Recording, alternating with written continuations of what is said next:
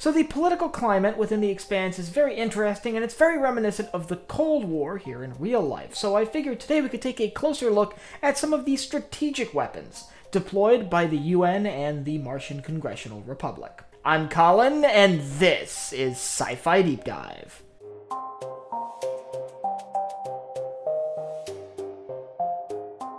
Remember, if you enjoyed this video, to head down below and hit that subscribe button. So I shouldn't need to explain to people that in the early days of The Expanse, during the first few seasons of the TV show, Earth and Mars aren't exactly best friends.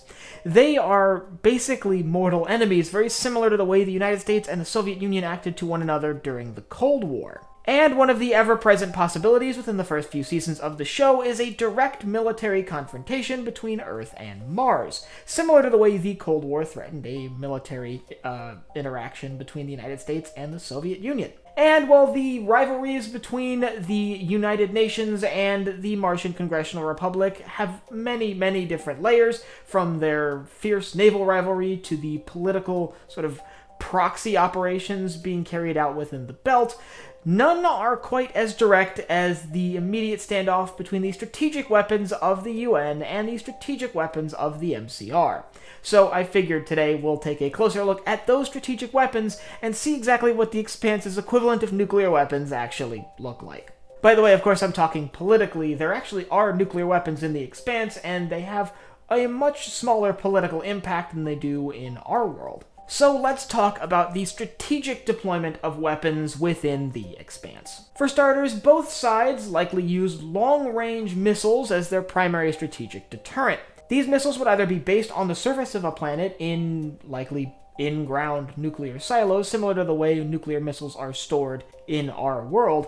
These silos would be hardened against attack and could launch very quickly. The direct line of communication in between these sites and a ground-based sort of military command center would likely be their biggest advantage. Unlike platforms located, say, in space, for example, they wouldn't need a transmission time necessarily to get the orders to the launch site. Will we never see these on screen? I would bet anything that they are present on both factions' worlds. But they're not alone. Both factions operate a variety of space-based platforms for their long-range weapons. We see directly that Mars uses stealth platforms scattered throughout the system as a firing position for their long-range strategic weapons. Specifically, we know that the MCRN operated five Stealth C ballistic missile launch platforms scattered across the system. Each of these could carry 10 Planet Buster ballistic missiles, which functioned a lot like MIRV missiles in real life, or multiple independent reentry vehicles. These missiles each carried 20 warheads that could hit 20 separate targets within a certain radius of the missile's impact site.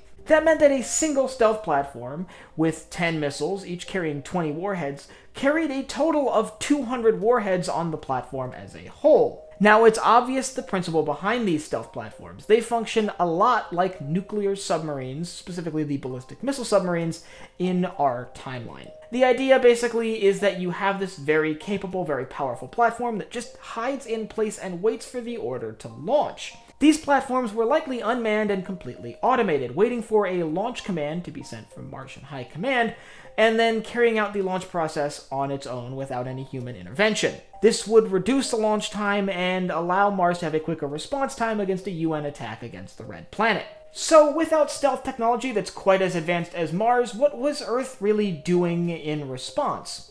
Well, it's likely Earth was countering the Martian stealth capabilities with sheer numbers. I would imagine that there was a significantly higher number of strategic platforms, possibly in orbit of Earth, and there is a very key reason for this. The planet Earth was defended by a fairly robust railgun system designed to intercept incoming asteroids that could likely also be utilized for intercepting incoming ballistic projectiles. In fact, we see an attempt by Earth's railgun system to stop incoming Martian ballistic missiles during the UNMCR war. So if you want to protect these platforms, it does make sense to put them behind your defensive networks of railguns, so putting these platforms in low Earth orbit makes a lot of sense. And I would bet that there are quite a few of those platforms orbiting the Earth within the expanse. And what about the damage these weapons do when they impact? Well, it is astounding. These nuclear weapons seem to have a significantly higher yield than the ones in our timeline. And as we see when planet busters are used against Earth during the UNMCR war, they are devastating to vast swaths of territory. They easily can devastate most of a continent when employed properly. So while the strategic weapons don't necessarily take quite the forefront that the regular navies do, they're still a very significant part of this political standoff in between the UN and the MCR. And one of the other big aspects of this political standoff is their navies, and one of the most impressive navies in the system, the Martian Congressional Republic Navy, owes its basic entire existence and the sort of state it's in at the start of the show to this standoff. And if you'd like to learn more about the ships within the MCRN, I'll leave a link up here to my video on that. And I'd like you to let me know down in the comments whether you think I'm right with my assumption about how the UN deployed their strategic weapons. Do you think the UN is putting them in numerous platforms in orbit and in silos on the ground, or do you think they're deploying them a different way? Let me know down in the comments. And if you have anything else you'd like me to cover from The Expanse, also leave that down below. Last but not least, if you enjoyed this video, head down below, hit the like button, the subscribe button, and the bell icon so you get notified when I upload new videos. So for Sci-Fi Deep Dive, I'm Colin, and I will see you next time.